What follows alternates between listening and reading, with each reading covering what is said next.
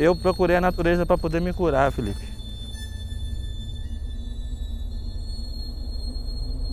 Teve um tempo da minha vida que eu sofri muito.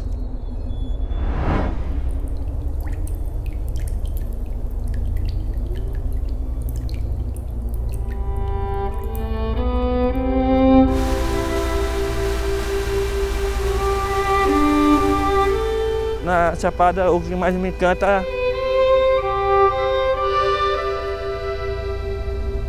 eu tenho a sensação de liberdade.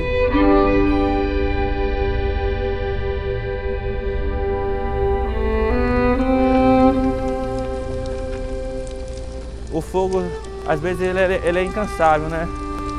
A gente apaga ele, um dia ele vence da gente, um dia a gente vence dele. Falei, moça, eu não quero nada não. Mais bens, mais terra. Só tô aqui de passagem e eu não sou dono de nada.